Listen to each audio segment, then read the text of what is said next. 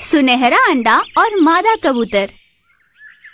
जंगल में एक पेड़ पर एक मादा कबूतर रहा करती थी।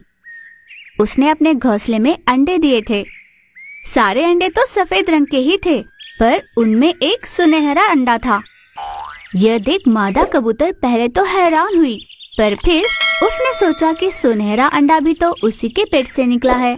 इसीलिए उसने बाकी अंडों के साथ उसका भी ध्यान रखना शुरू किया। एक दिन तेज हवा चली और कबूतर का घोंसला गिर गया, जिस कारण मादा कबूतर के सारे अंडे टूट गए, सिवाय उस सुनहरे अंडे के। घोंसला देखकर मादा कबूतर बहुत दुखी हुई।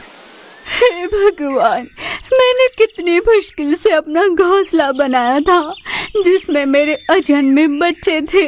सब कुछ खत्म हो गया। इस निर्दयी तूफानी हवा को क्या आज ही चलनी थी? आ भी गई तो क्या मेरे ही अंडों को नष्ट करने आई थी? हाँ। ऐसे आक्रोश में रोए जा रही थी। तभी उसकी नज़र पड़ी उस सुनहरे अंडे पर। जिस अंडे को देखकर मैं घबरा गई थी, वही अंडा बच गया। कम से कम इसे तो संभाल कर रखूँगी। फिर मादा कबूतर उस सुनहरे अंडे के पास गई और उसे प्यार से सहलाकर उसका खूब ध्यान रखने लगी। समय बीता। उस अंडे से एक चिन्नु मिन्नु सा सुनहरा कबूतर निकला। मादा कबूतर ने उसे खूब लाड प्यार से पाला और बड़ा किया। उस नन्हे कबूतर का उड़ने का समय आ गया था, पर मादा कबूतर उसे कहीं जाने नहीं दिया करती थी। उसके लिए खाने का इंतज़ाम वह खुद ही किया करती थी। एक दिन मादा कबूतर की सेहत बिगड़ गई। उसे बुखार हुआ, उड़ने की भी ताकत नहीं थी उसमें। अपने अन्न का जुगाड़ करने नहीं जा पा रही थी।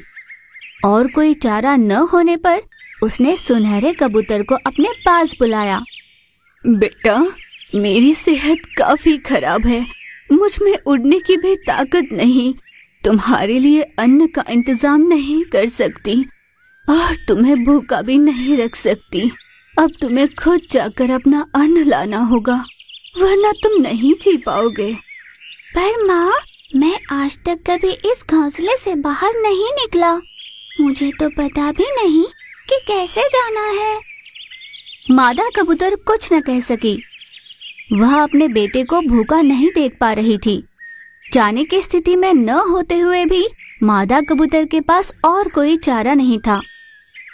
वह बड़ी मुश्किल से बाहर गई और अपने बच्चे के लिए अन्न ले आई। अपनी माँ के क्षीण होती हालत में भी उसे बाहर जाना पड़ा। ये देख सुनहरे कबूतर को बहुत दुख हुआ। उसने रोते हुए अपनी माँ से कहा, माँ, मुझे माफ़ कर दो। मुझे खुद से ही नफरत हो रही है। तुम्हारी इतनी सेहत खराब है। तुम उड़ने की हालत में भी नहीं। फिर भी मैं भूखा ना रहूँ, इसलिए तुम पीड़ा में रहते हुए भी मेरे लिए खाना लाई। मैंने आपकी सेहत की सोची भी नहीं। आज अगर मैं कहीं नहीं जा पा रहा किसी काम का नहीं रहा तो इसका कारण आपका हद से ज़्यादा लाड़ प्यार ही है माँ। ये आज मैं समझ गया हूँ। मेरी भी समझ में ये बात अभी आई है बेटा। तुम ऐसे ही रहे तो भविष्य में तुम्हारा क्या होगा? ये सोच सोच कर मुझे डर सा लगने लगा है। माँ जब मेरे पंख नहीं थे तब तुम्हारा मेरे लिए अन्न लाना अनिवार्य था। पर अब तो मेरे पंख है। मैं उनका इस्तेमाल नहीं करूँगा और भैंसे घोंसले में बैठा रहूँगा तो ये सही नहीं होगा। ये मैं अच्छे से समझ गया हूँ। इसीलिए मैंने सोच लिया है कि अब से अन्न लाने के लिए मैं ही जाया करूँगा और तुम घर पर आराम करोगी। बहुत बढ़िया बेटा। कम से कम इस कारण तुझ में हिम्मत तो आई। दिन से कबूतर हर रोज बाहर जाकर अपनी माँ के लिए और खुद के लिए अन्न का इंतज़ाम करने लगा।